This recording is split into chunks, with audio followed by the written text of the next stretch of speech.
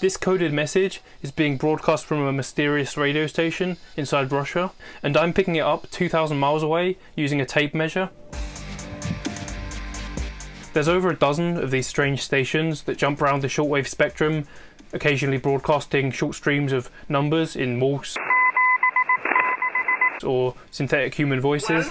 six fiver two fiver These number stations are operated by several countries, but most of the ones still operating are relics from the Cold War. Of course, no government has officially confirmed the purpose of these stations, but it's widely accepted that they're for transmitting messages to spies overseas without having to make direct contact with them. The radio signals are sent out for the whole world to hear, assuming you know the right time and frequency to expect it on.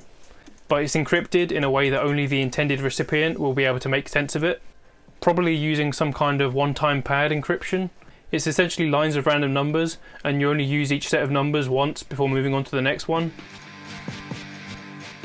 And as long as the recipient is the only one who has a copy of the one time pad, it's pretty much impossible to crack, at least as far as I'm aware, and I guess the people running the stations too.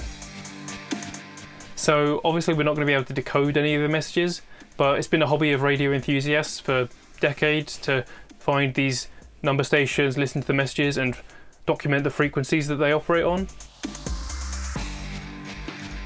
To pick up radio signals, all you need is a radio and a suitable sized antenna for the frequency you're trying to tune into. I'm going to use this cool little software defined radio or SDR. All you have to do is plug it into a computer or a phone.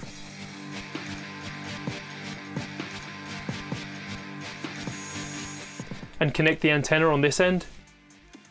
When we connect this dipole antenna, we can pick up commercial radio stations at around 100 megahertz.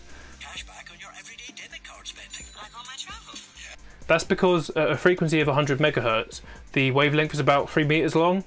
You want an antenna to be about half a wavelength for good reception, so you can see I've got this dipole set at about 1.5 meters. But number stations transmit in the shortwave region around 10 megahertz, so 10 times smaller frequency means 10 times larger wavelength. So we're looking at about a 30 meter wavelength. So our shortwave antenna is going to have to be at least 15 meters long, or 50 feet.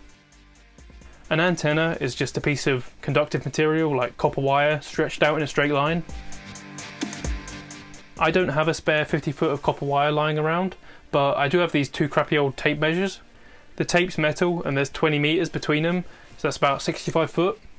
I removed the tapes from their cases and sanded the ends to make an electrical connection between them.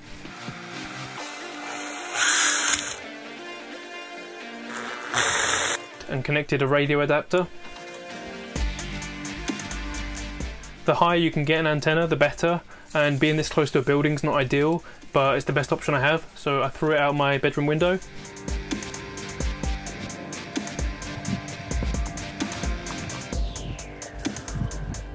I went outside and tensioned the other end on a metal post to try and get it as straight as I could.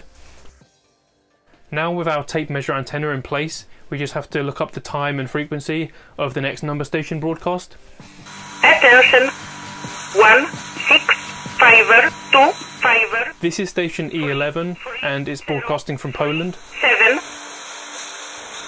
seven four eight Now let's try a station that transmits in Morse. Station M12, which is transmitting from Russia. For this one I've set up my iPad to decode Morse in real time. Any second now. And there it is.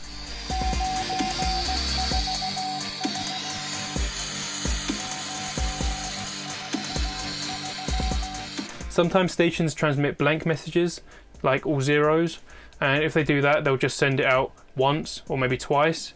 But if they're sending out actual traffic, they'll normally repeat it every 20 minutes for an hour, and then do that for a few days.